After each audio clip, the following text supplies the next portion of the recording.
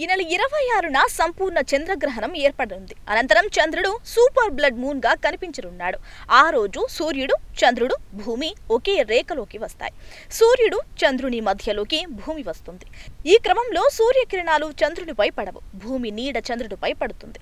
ఈ సమయంలో కాంతి తరంగాలు ఫిల్టర్ అవుతాయి. దీంతో చంద్రుడు ఎరుపు నారింజ గోధుమ రంగుల్లో కనిపిస్తాడు. దేశానికి ఈశాన్యాన ఆకాశంలో ఈ నెల ఇరవై ఆరున సాయంత్రం ఈ అరుదైన సూపర్ బ్లడ్ మూన్ ఆవిష్కృతం కానుంది. సంపూర్ణ చంద్రగ్రహణం అనంతరం ఇది సంభవిస్తోంది. ఈ గ్రహణం సాయంత్రం మూడు గంటల పదిహేను నిమిషాలకు ప్రారంభమై ఆరు గంటల ఇరవై రెండు నిమిషాలకు ముగుస్తుంది. అంటే పద్నాలుగు నిమిషాల ముప్పై సెకండ్ల పాటు ఉంటుంది. కోల్కతా ఇలాంటి చంద్రగ్రహణాన్ని పదేళ్ళ క్రితం అంటే రెండు వేల పదకొండు డిసెంబర్ పదిన చూడగలిగిందని ఎంపీ బిర్లా ప్లానెటోరియం డైరెక్టర్ ప్రసిద్ధ ఖగోళ భౌతిక శాస్త్రవేత్త దేబీ ప్రసాద్ దౌరి తెలిపారు. ఈ చంద్రగ్రహణం ఈశాన్య ఆసియా పసిఫిక్ సముద్రం ఉత్తర దక్షిణ అమెరికా ప్రాంతాలు ఆస్ట్రేలియాలో కనిపిస్తుందని తెలిపారు. బుధవారం చంద్రుడు భూమికి దగ్గరగా రానుండడంతో సాధారణ రోజుల్లో కంటే పెద్దగా కనిపిస్తాడు.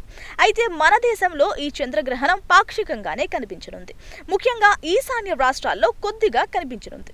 ఇక ఈ చంద్రగ్రహణం తరువాత జూన్ పదవ తేదీన సంపూర్ణ సూర్యగ్రహణం ఏర్పడనుంది. నవంబర్ పంతొమ్మిదవ తేదీన మరోసారి చంద్రగ్రహణం ఏర్పడుతుంది. అది పాక్షికమే. ఈ ఏడాది చివరిలో డిసెంబర్ నాలుగవ తేదీన మరోసారి సూర్యగ్రహణం సంభవించనుంది.